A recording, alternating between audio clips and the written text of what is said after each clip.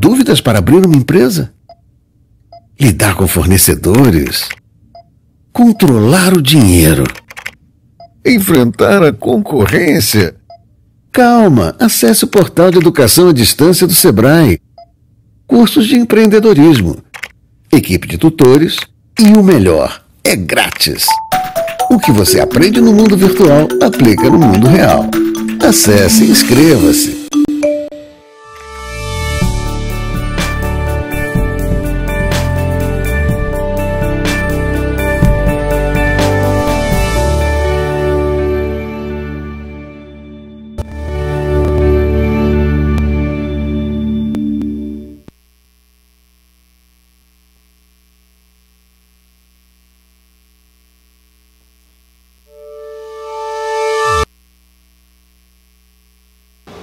Bom dia. Bom dia, pessoal. Agora sim com o microfone funcionando. Agradeço muito a presença de todos aqui em nome da Campus Party.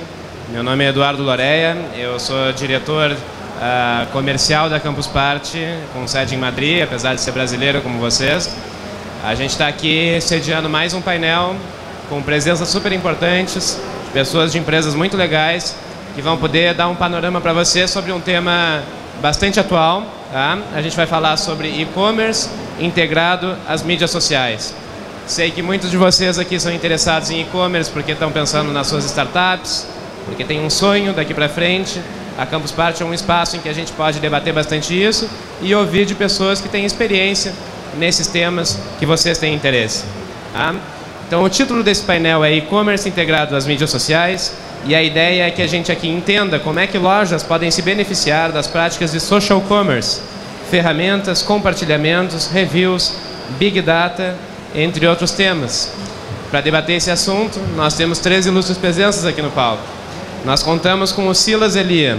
O Silas, ele é o CEO da 00K e Business Tools. E nós contamos também pela 00K e Business Tools com o chefe de marketing, né, o CMO, como se costuma dizer no mercado, André Ferracini, que aqui está na mesa presente também. Eu agradeço também a presença do Patrick Donahue.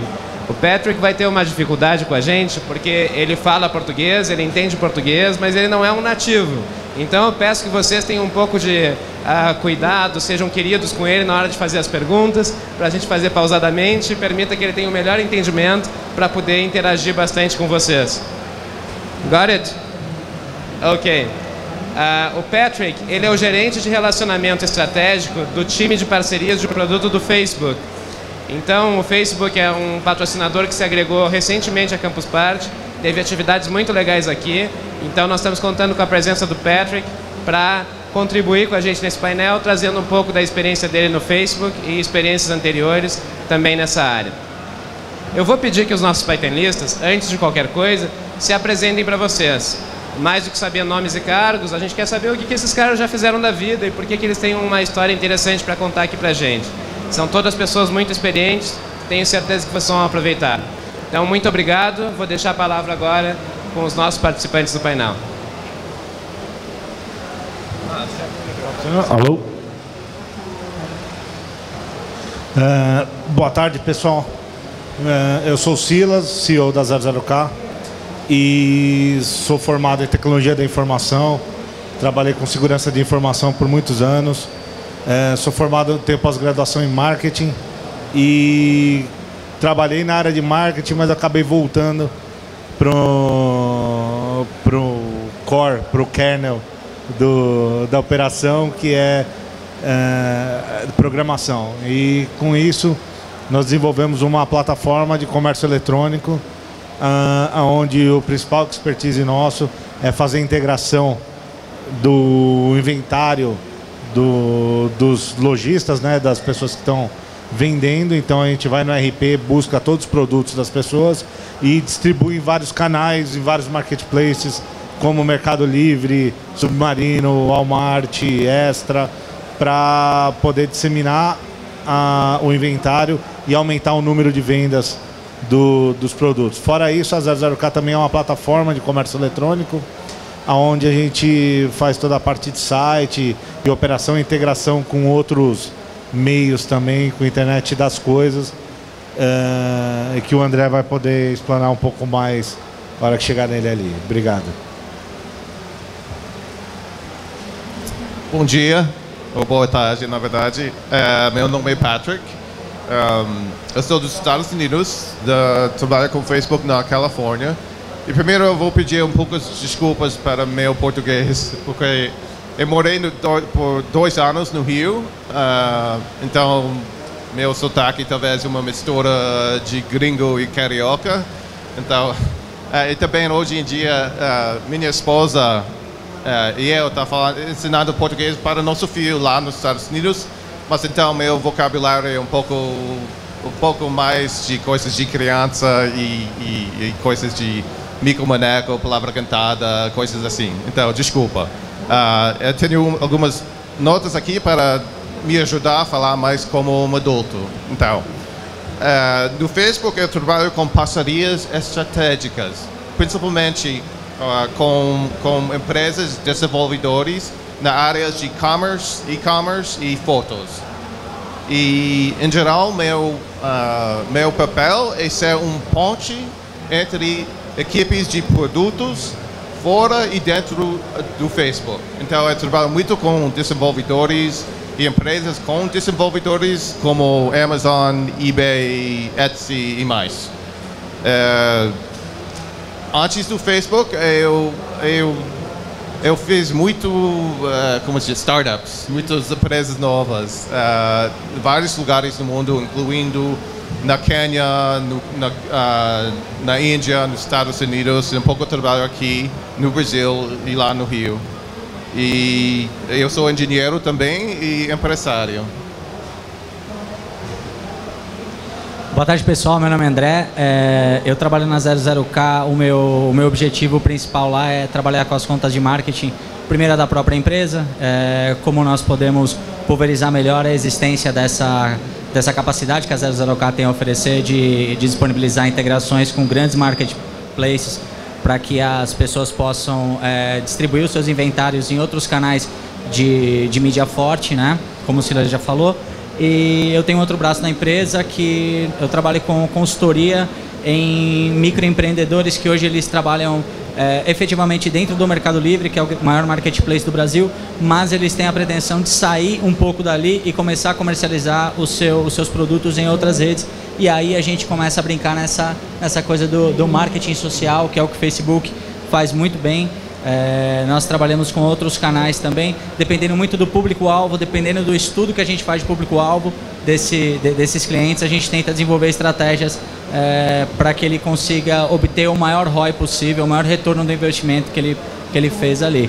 E agora eu queria, eu queria saber de vocês, do, do, do pessoal Silas, que é bem voltado nessa parte de integração, o Patrick também que ele, tem, ele, ele trabalha muito forte com essa parte né, dentro da parcerias do, dentro do Facebook. O que, que você acha, Silas? É, a, quais seriam as, as integrações aí que a gente poderia usar mais forte nesse meio de redes sociais? E depois o Patrick indo falando e quando sobrar para mim aqui, eu vou falando também. É, primeiro, primeiro que, na verdade, eu quero saber mais sobre vocês, é, na galera. Quem é, aqui são desenvolvedores ou, ou, ou engenheiros? Eu também. É, quem se, é, trabalha com empresas e lojas?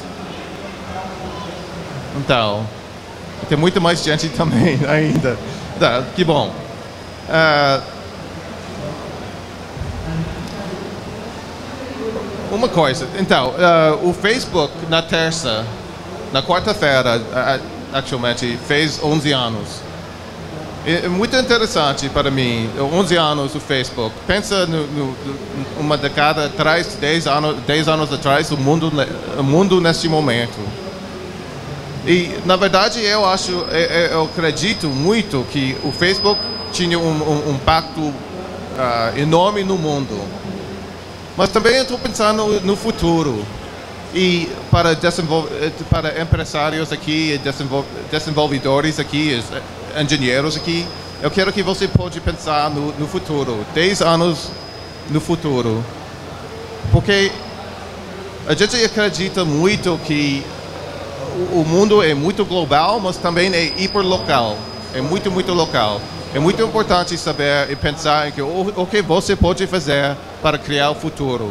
Porque com desenvolve, desenvolvedores, com as empresas aqui, o futuro, na verdade, começa hoje, com vocês.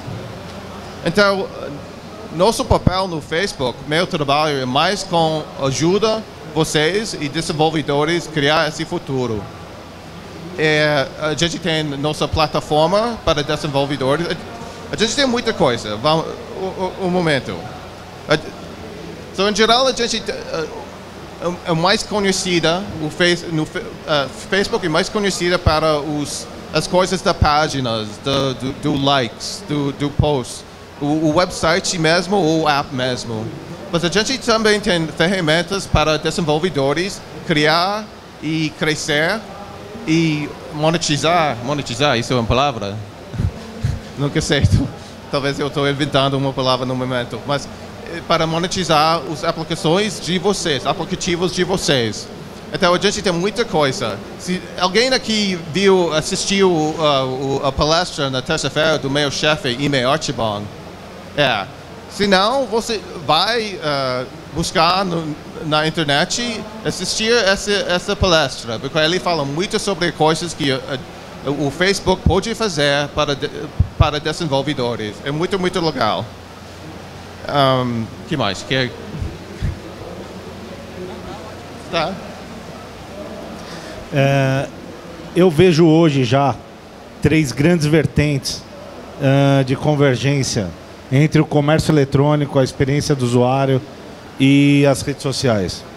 A primeira vem do saque 2.0, aonde hoje qualquer um que quer reclamar de qualquer coisa, ou usa o Twitter, ou usa o Facebook, ou usa qualquer outra rede social. E as empresas precisam estar atentas para isso. Então, ponto 1, um, saque 2.0.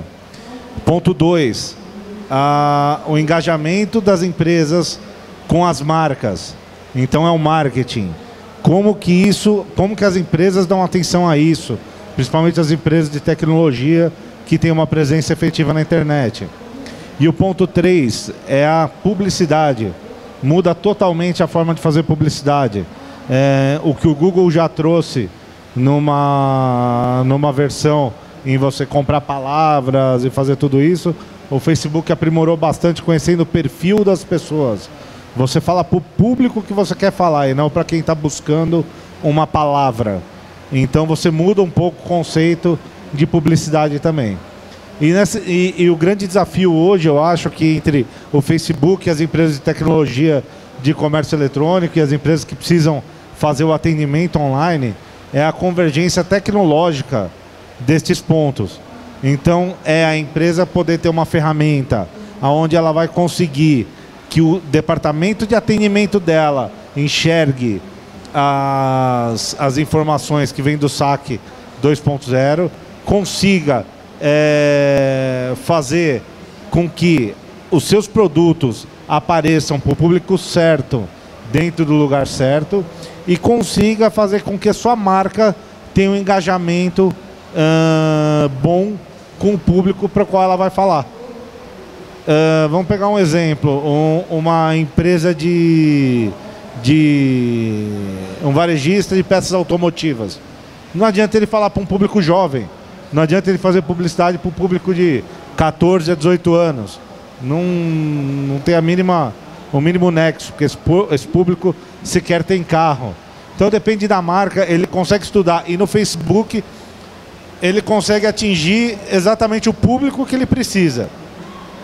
O desafio aí que eu acho que é, que é o grande a barreira que o Patrick uh, deve quebrar uh, e o Facebook está trabalhando diariamente para melhora disso são as APIs para fazer automação.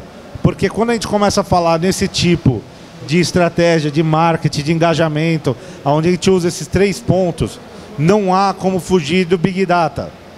Você tem que ter informações de tudo que é lado. E aí tratar essas informações, analisar essas informações e tomar a ação certa no momento certo, só é viável quando você tem algoritmos complexos para que isso aconteça. E para viabilizar esses algoritmos, existem as integrações com as APIs, onde você pode fazer a, a ação certa no momento correto.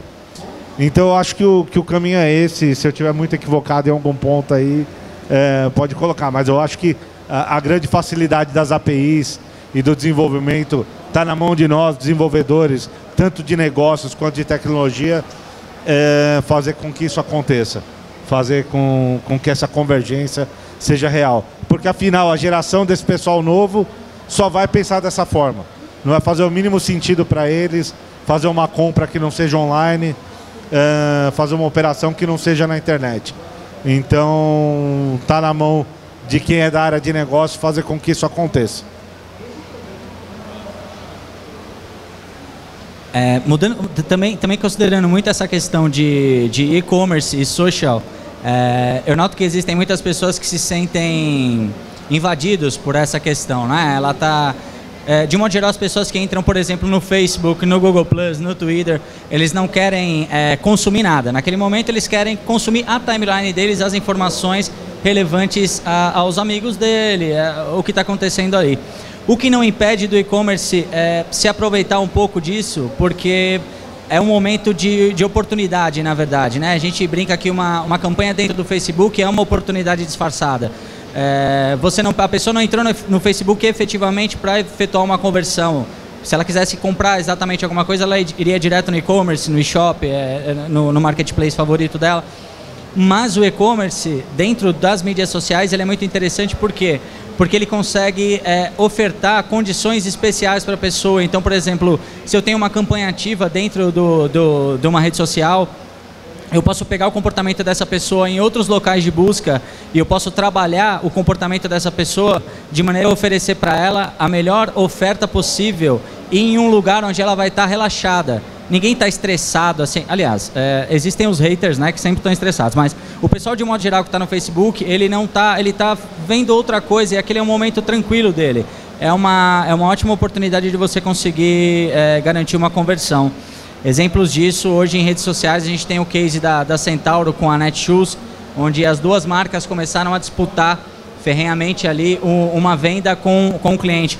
É claro que uma venda não representa quase nada para eles, mas a impressão que eles deixaram com essa discussão, com essa briga, eu entrego o meu tênis mais rápido, não, mas eu entrego para você na academia, eu entrego é, e ainda te dou um brinde, te dou um desconto. Isso tudo é visto por todos os outros usuários. Quando você, quando você pulveriza uma, uma, uma opinião dentro de uma rede social, quando uma marca se manifesta dentro de uma rede social, é muito importante para ela, porque ela não está atingindo uma pessoa.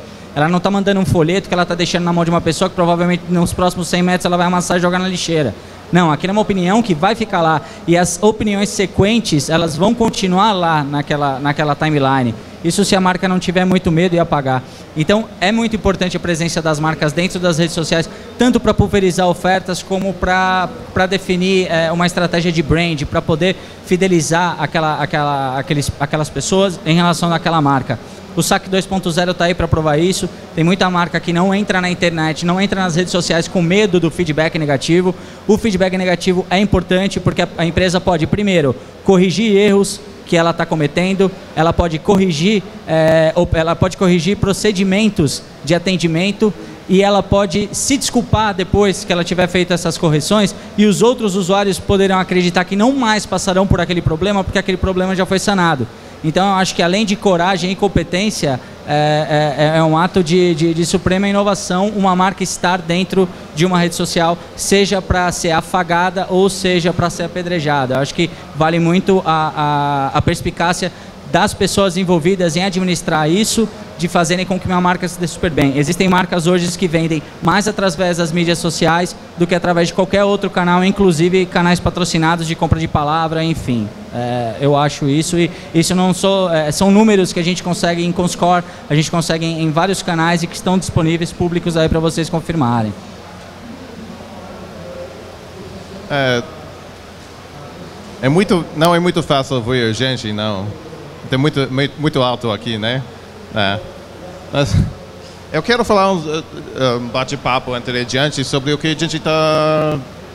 Uh, exemplos melhores que a gente está vendo aqui no Brasil, no, no mundo uh, de e-commerce, que exemplos muito novos, exemplos interessantes E talvez a gente pode faz, uh, falar um pouco sobre isso. Eu quero, com certeza, aprender mais sobre o que está acontecendo aqui no Brasil, exemplos melhores.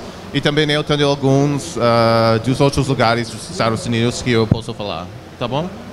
Então, a ideia... Ou... Quer começar? Eu começo? Qualquer coisa.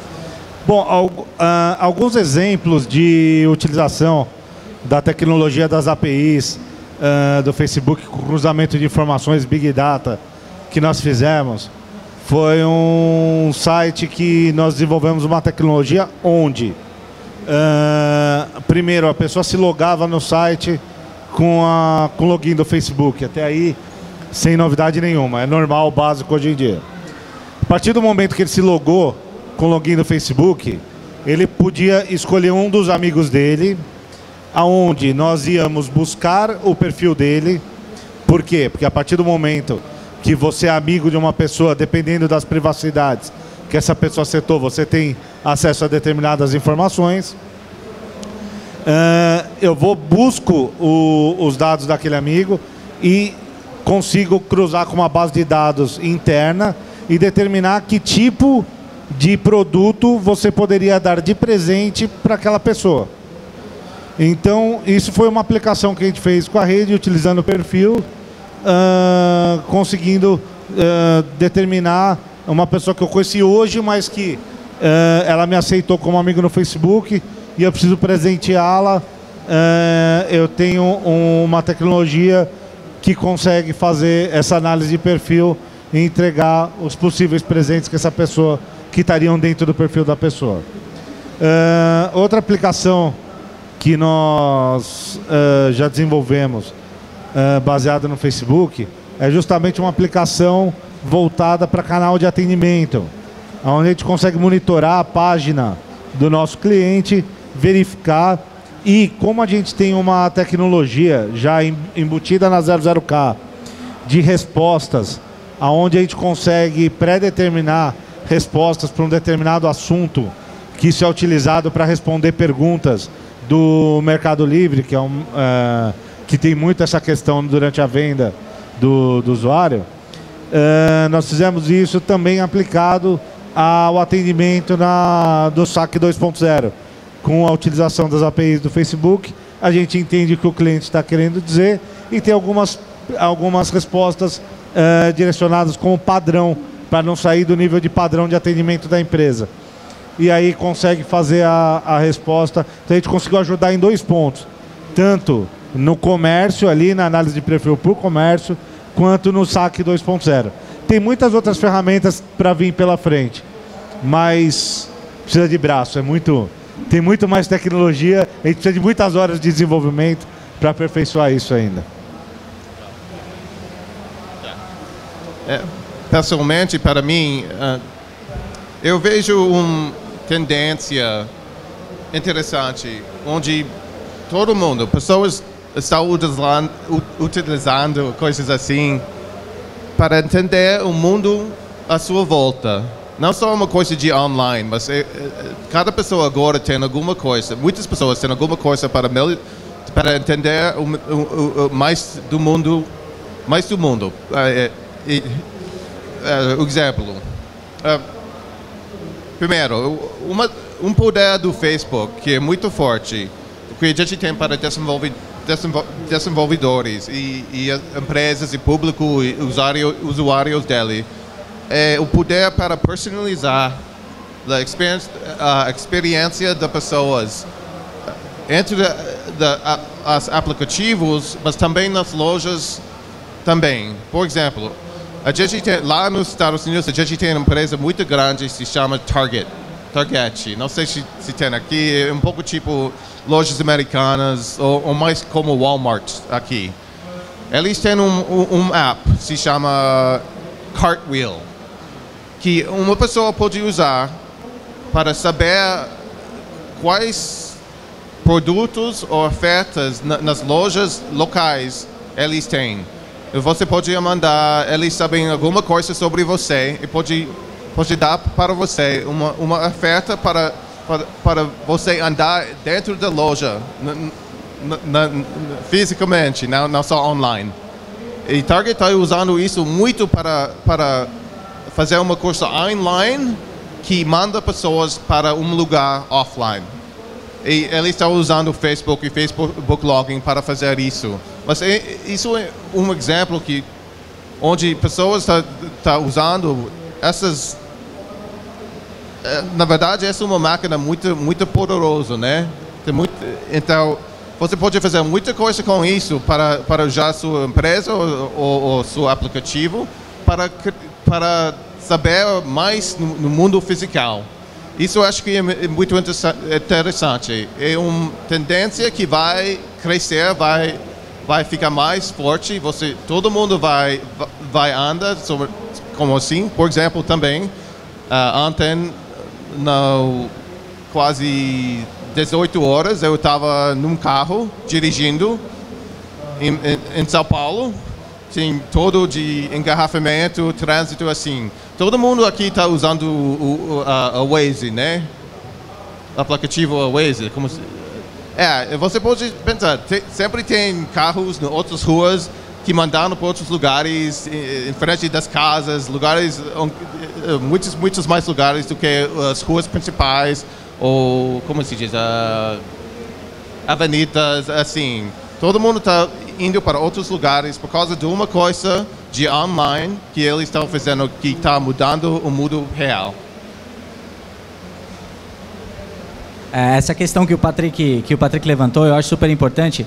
Tem um termo que a, se não me engano, a Marta Gabriel que ou cunhou ou, ou costuma dizer isso, que chama cibridismo, onde nós estamos nos tornando seres cyber híbridos. É, é, é, é, claro que em outros locais, ok, mas aqui em São Paulo, por exemplo, aqui dentro da Campus Party, eu acho difícil a gente encontrar alguém que não tenha um smartphone e que não utilize esse smartphone quase que de uma maneira viciante, ou seja, é, com, com o Waze ou com o Google Maps para chegar aqui, como, como o Patrick disse, ou seja, para escanear um QR Code promocional que, tão, que tem vários espalhados aqui, é, ou seja, para se manifestar com seus amigos dentro de uma rede social ou para aproveitar uma oferta de uma rede social. É, o, mercado, o mercado brasileiro ainda é muito incipiente nessa questão de, de trabalhar o e-commerce dentro dos, dos mecanismos mobile. Eu ainda, é, a gente ainda participa de, de várias tentativas de compra através do celular, onde a gente acaba se, se frustrando, mas eu acho que essa tendência a gente vai acabar absorvendo, como lá fora o pessoal já absorveu e nós vamos usar cada vez mais os dispositivos mobile, tanto para comprar como para interagir. Essa questão de realidade aumentada já é uma grande, já é uma, já acontece. Quem usa o Lyre, aquele aquele browser para você que usa a câmera, que ele escaneia, ele, ele entende que isso aqui é um copo, ele vai te dar onde existe aquele copo mais, mais barato. O próprio Boa Lista, onde você pode escanear os, os quando você vai jogar um é, vai jogar um, uma garrafinha, alguma coisa, algum produto que você terminou ele no lixo, você dá uma escaneada, ele já cria uma lista para você. A próxima vez que você for no mercado, ele já vai te dizer qual é a tendência do mercado mais barato, onde você vai encontrar todos os produtos.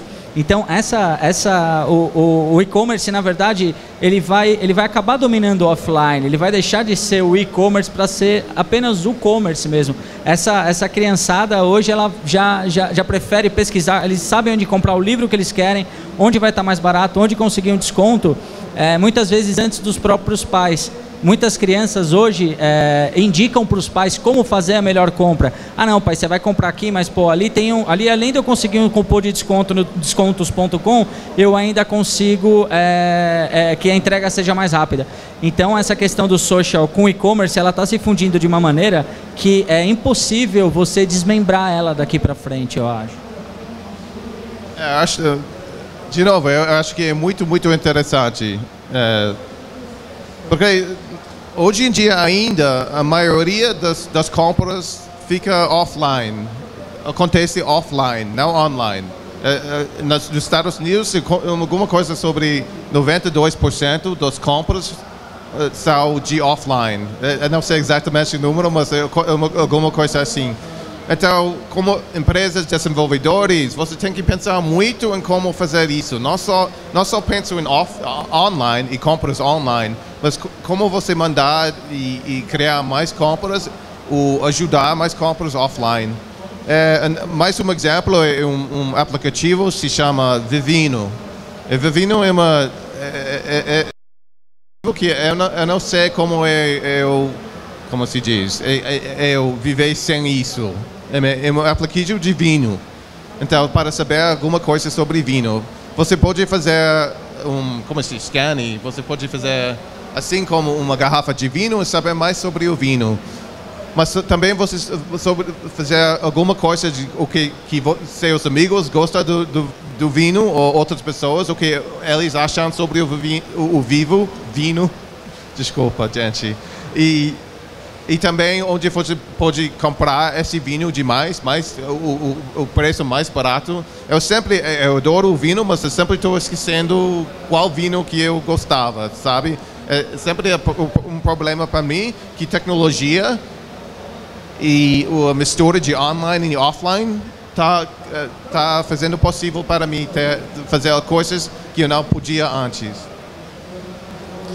Eu acredito muito no, numa mudança no mercado varejista, que realmente mais de 90% ainda é presencial. Uh, se vocês analisarem um pouco a história do mercado varejista no Brasil, uh, os shoppings de São Paulo, os principais shoppings, têm 30 anos, ou um pouquinho mais, ou um pouquinho menos. Então houve uma mudança muito grande de 30 anos para cá no mercado varejista. É, se tornou totalmente, ah, vai para shopping, é shopping, é shopping, centros comerciais, e isso foi englobando entretenimento, englobando comida, englobando uma série de coisas. Quem fez essa mudança foi a nossa geração. Foi a geração que está hoje no, a, nos negócios, que está trabalhando a geração que hoje tem entre 30 e 50 anos, vai. Eu acredito que tem uma mudança muito grande pela frente aí no mercado varejista não só brasileiro como mundial, que tende a fazer com que as lojas de shopping, da forma como conhecemos hoje, uh, sejam extintas e se tornem grandes centros de experiência para o usuário. Como já existe nos Estados Unidos algumas lojas com essa iniciativa, salvo engano, a própria loja da Apple não mantém estoque na loja. Você vai lá, tem uma experiência com aquele produto, faz a compra direto no, na loja, é, direto no aplicativo, inclusive. Você pode comprar via Apple Pay. E em dois minutos tem um motoboy encostando ali, entregando o produto para você. Então, uh, no, aqui em São Paulo já começou. No Shopping Morumbi nós temos uma loja da Samsung, que é uma loja de pura experiência da Samsung. Eles não vendem nada ali, uh, mas se você quiser comprar para entregar na tua casa, eles vendem.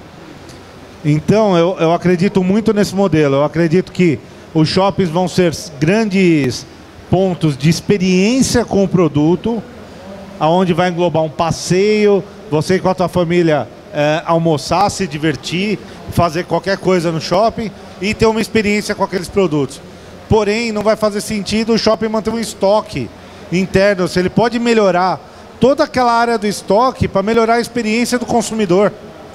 Ele pode pegar toda aquela área morta hoje, que está lá armazenando produtos, para a experiência do consumidor. Mesmo porque uh, as lojas vão ter que ter um centro de distribuição, porque eles vão ter que vender online. Então, a, a entrega do online tem que ser cada vez mais rápida. Então, não faz sentido uh, você manter um, um, mini centro de distribuição dentro de cada loja no shopping. Então, você tem no centro de distribuição você tem a experiência no shopping, a efetivação da compra online, em uma hora, duas, você está com o produto na mão. Eu acredito muito nesse modelo. É, uma hora, duas pode ser até no início parecer um tempo muito grande, mas não é. Eu acho que é até mais rápido daqui a um tempo. Eu acredito muito nesse modelo. E nesse modelo, volto a falar, vem o Big Data por trás, com todas as questões de perfil, de redes sociais, de como que o, que o varejista vai enxergar o seu perfil para oferecer o melhor produto e a melhor experiência. Então eu acredito muito nesse, nesse, na internet das coisas também. A internet embutida em equipamentos que vão falar cada vez melhor o que você necessita. Lógico que nunca vai substituir o sentimento humano, mas vai poder aproximar bastante do que você precisa. Então eu acho que o grande desafio no varejo brasileiro ainda é moda, tá?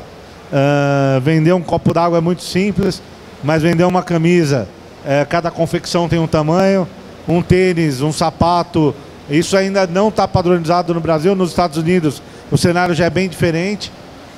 Mas eu acredito muito nessa mudança. A mudança nesse sentido, eu acho que é aí que, que a tecnologia vai ajudar muito, que as, as APIs de integração vão facilitar a vida de todo mundo, que as ferramentas de gestão para o retailer, para o varejista, uh, vão fazer a grande diferença e que principalmente o público, que hoje são, eu estou falando da molecada que tem 5 anos, que enche o saco dos pais quando chega em casa para comprar um aplicativo na Apple Store ou, na, ou, ou, ou no Google para brincar no celular. Eu acho que esse é o grande público que vai fazer a mudança, que vai fazer a transformação. O público adolescente hoje vai uh, fazer com que uh, isso ganhe força, mas a mudança vem desse público abaixo de 5 anos hoje, que vão chegar no mercado daqui a 10, 15 anos com poder aquisitivo e vão exigir que isso seja de outra forma. Então, que já, já nasceram mexendo no iPad, já nasceram com o touch, já nasceram com vários vídeos que a gente está vendo na internet hoje de crianças fazendo assim para mudar a página na revista. Esse público é o que vai mudar tudo. E é para isso que a gente tem que estar tá preparado. É, é verdade. Meu filho sempre, quando ele está assistindo a, a, a, TV, ele sempre está tentando tocar a TV e trocar tudo. Ele é o... eles, eles simplesmente não vão aceitar é. produtos que não tenham esse padrão. É. Eles não vão aceitar. Como assim? Não tem touch? Como assim? Não, não, não, não sei mexer. Não é assim, eu não sei mexer. Então eles não vão aceitar isso. E, e, também eu acho que no futuro, é, até agora, a, é, é, gente quer produtos, a gente quer ver produtos que a gente gosta, sabe? Quem aqui gosta de, de, de ver uh, propaganda ou ads?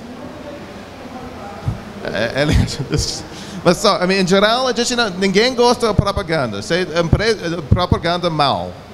Ninguém gosta. A empresa não gosta. Uh, uh, o público não gosta, ninguém gosta. Mas no futuro eu acho que a gente vai melhorar, vai saber muito mais como fazer o próprio caminho entre o produto que, uma, que uma pessoa vai querer, o produto e a pessoa.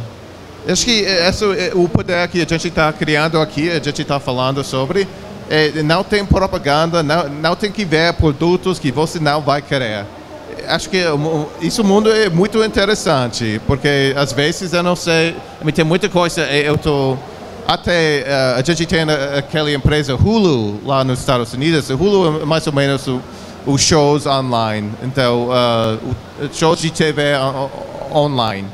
E eles, acho que eles podem saber mais sobre mim, mas ainda eu estou vendo sempre os propaganda de carro, de carro, de carro. Eu não quero, eu não eu não quero muito de carro. Eu já tenho uma, não preciso outro, mas sempre estou vendo isso. Por que eles não sabem mais sobre mim para mostrar o, o, as propagandas ou produtos que eu vou eu, que eu vou gost, eu gostaria? Eu não sei, mas acho que eu, a gente está no início do mundo onde isso não vai acontecer demais. Acho que é muito legal. É, essa, essa questão do que o Patrick falou realmente é muito importante. É, hoje a gente que a gente acompanha algum, uma campanha e, e, mensura essa campanha. Quando você começa a entregar a sua publicidade para um público desqualificado, você está jogando seu dinheiro no, no, lixo na hora, né? Então, se eu vendo é, remédio para calvície em um salão de beleza que tem um monte de mulher cabeluda, ninguém vai querer é, aquilo. Então, eu tô, tô perdendo meu tempo e meu dinheiro. É, essas, essas, essas métricas que o Facebook usa para poder propagar essa publicidade paga, eu acho que elas são muito mais interessantes, são muito mais assertivas e, e elas produzem um ROI muito mais, muito mais efetivo, né? Eu acho que é, é o caminho, não tem jeito, essa coisa de ficar é, criando campanhas em display sem o menor, é, sem o menor ideia de onde isso vai acabar parando, para quem que isso vai aparecer. Você cria uma propaganda de jogos e começa a entregar para um público que não joga. Você cria uma campanha de computador e entrega para um público que não usa computador. Você está é, é, é, é, um, é um desperdício. Isso tem sido feito até agora. É, daqui para frente, eu acho que com essas de você poder segmentar as campanhas, sejam elas de social, sejam elas é, de mailing, sejam elas de, de qualquer natureza, eu acho que, que é realmente muito importante. Como levantou a plaquinha do, do, do finzinho, eu queria saber, vocês queriam abrir para as perguntas dos, do pessoal, para achar legal? Tem. Pode ser, se quiser.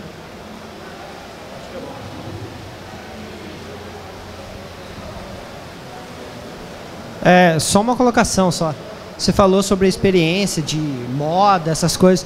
Tem uma ideia interessante da Lema 21, que ela vende óculos, que você compra o óculos, escolhe entre quatro, eles mandam na sua casa os quatro, você escolhe um e devolve os outros. É só uma colocação. Fica, acharia legal fazer isso com coisa de moda, essas coisas que o sensorial vale muito. muito. Então, é, deixa eu te falar uma outra experiência. Eu sou gordo. Gordo para comprar roupa normal já é complicado. Se comprar na internet, você não acerta uma. Não acerta uma, porque o, o XG de uma loja é totalmente diferente ao P da outra. Então, enquanto não houver uma padronização disso, a, a, a Lema 21 eu vi esse case, só que é, é muito mais. É, é, é um pouco diferente do servir ou não servir do que ali é, é como a pessoa se sente bem. O óculos é uma experiência muito pessoal.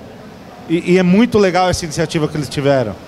Mas a roupa é, tem um potencial absurdo de venda de roupa online, mas absurdo. Que a gente está jogando fora com essa padronização que não existe. Sem essa padronização, no caso, entendeu?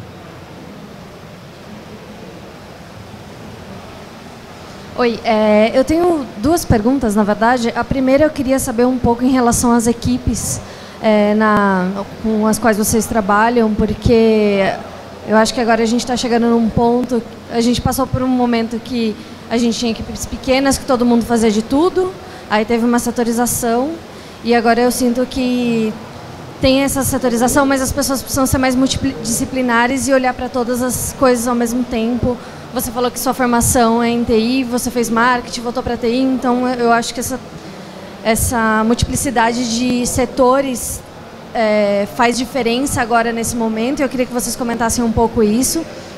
E outra coisa é a questão de, por mais que a gente tenha e-commerce, muitas vezes a gente trabalha com empresas mais é, conservadoras ou que estão há muito tempo no mercado e que não têm o dinamismo para responder na velocidade que precisaria na, com redes sociais, com o SAC 2.0 e, e em outra velocidade. Eu queria que vocês comentassem um pouco isso, porque o tempo de resposta às vezes não é tão, é, tão rápido, satisfatório quanto a gente precisaria. Obrigada.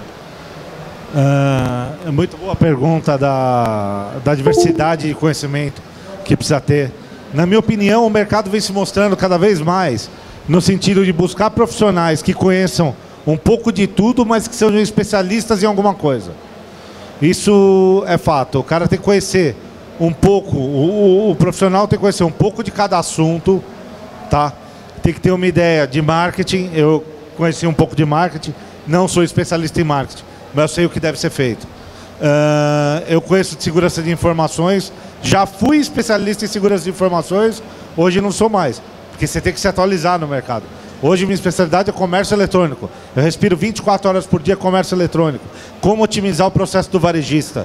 É, é comércio eletrônico, comércio eletrônico, comércio eletrônico. Então você tem que ter um conhecimento geral, mas uma especialidade em alguma coisa. E uma opinião rápida sobre a segunda pergunta é o seguinte: o varejista, uh, por mais que seja grande ou pequeno, ele dá atenção onde está o dinheiro. O dinheiro, o que importa é o dinheiro. Ele tem que vender e tem que sobrar. A última linha da conta tem que ser positiva, certo? Então, se você soma lá todos os seus gastos, a última linha tem que ser positiva. Uh, o varejista que não está dando atenção a uma reclamação online, ele está perdendo dinheiro. Agora, depende da estratégia dele, se o dinheiro que ele está perdendo é pouco ou muito. E isso quem vai entender provavelmente é só o CEO da empresa, porque ele vai estar tá entendendo a estratégia global. Uh, eu já vi estratégias de empresas que não estão nem aí. pode me processar, pode fazer o que quiser, não estou nem aí. O que eu ganho aqui, que é o meu foco, cobre todos os gastos desse daqui.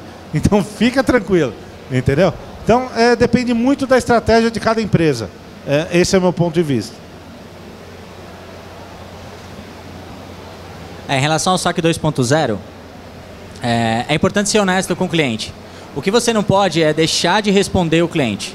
Então, ainda que demore um pouco, ainda que você tenha uma deficiência de, de, de, de mão de obra, de recursos humanos que possam oferecer essa resposta, demore para responder, responda e peça desculpa por ter demorado. Seja, seja, classe, é, seja, seja sincero com o seu cliente na, na rede social, entendeu? É ali ele está querendo, ele tá querendo se aproximar da sua marca. Por que sua marca não vai se aproximar dele de maneira honesta, sincera? E é, toda empresa tem problema. As, o Facebook deve ter seus problemas, a 00K tem problema, a Microsoft, IBM, enfim, todo mundo tem problema. Então acho bom ser transparente. Quanto mais transparente nas redes sociais, é, melhor vai ser o resultado. E quem estiver ali acompanhando esse buzz vai admirar mais a sua empresa, porque ela teve uma postura honesta com, com você. É assim que eu penso. Acho que o nosso tempo acabou, mas a, a gente pode ficar aqui para falar para, é, para se, se, tiver mais perguntas, a gente pode falar também depois. Muito obrigado para, para estar aqui. Estar aqui. Pessoal, obrigado. É, eu espero que todos vocês alcancem sucesso aí na, nas carreiras de vocês. É, e, e, que no ano que vem vocês continuem vindo na Campus Party. Aqui é um celeiro muito grande de talentos e eu acho que é super importante vocês estarem aqui, não só pelas brincadeiras e jogatinas e, e, as coisas gostosas que a gente pode fazer aqui, mas também pelo network que a gente consegue fazer aqui com essa galera jovem que amanhã com certeza vão estar sentados em cadeiras bastante caras e em escritórios luxuosos, tá, gente? É o que eu desejo para vocês. Eu gostaria também de agradecer a presença de todos e falar acima de tudo, esse evento fantástico que é a Campus Party.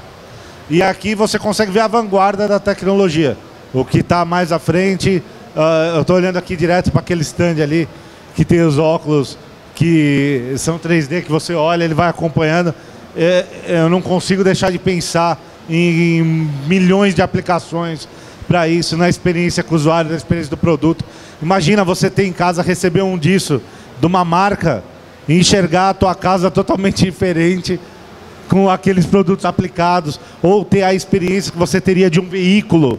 Você recebe um óculos desse, aí você olha, ou o aplicativo, que provavelmente já vai ter o equipamento, olha assim como seria o interno de um veículo, a experiência de você abrir, de chegar, isso acho que vai mudar muito a experiência do usuário. Fora isso, gostaria de agradecer todo mundo e se tiver mais alguma dúvida, estamos à disposição aqui para para tirar e muito obrigado.